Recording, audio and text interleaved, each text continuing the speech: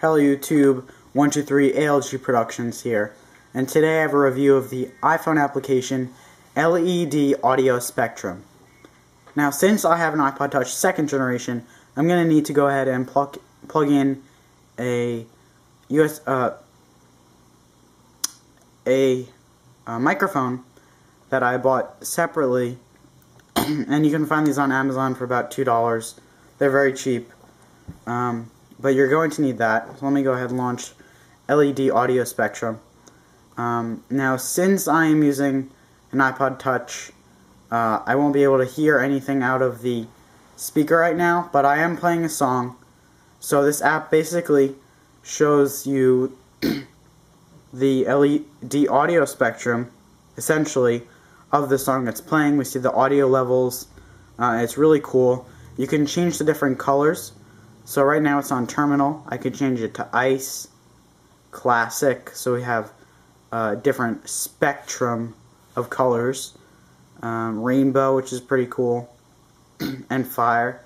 We have bar mode with bars and peaks, and the peaks are little uh, top levels that drop, and then we can have just bars, which is neat as well. We can have a high sensitivity, a low sensitivity, medium. So I'll put that on medium.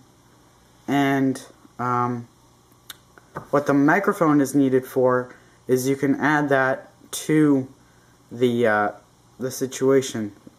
so if I were to tap on here, you'd see it's gonna go along with. So if I was talking on the microphone, it would be able to hear it, and it would reflect on these um, on these bars.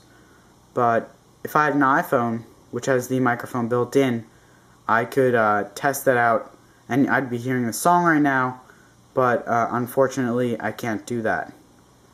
Now, um, you'll see if I take the microphone out, it will stop and tell me I need to plug in the microphone.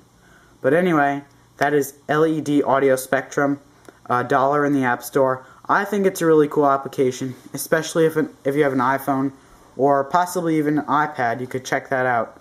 Uh, maybe I'll check that out later. But that's LED audio spectrum. Definitely at least worth checking out. I think it's pretty neat. Uh, you know, showing your friends or even just placing on your desk while you're listening to a song. Um, it's a pretty cool, um, just a cool thing to look at. It's not really something of, of great use. But anyway, that's all, folks. Um, thanks for watching thumbs up this video if you liked it, uh, comment down below, and remember to subscribe. I'll see you in my next video.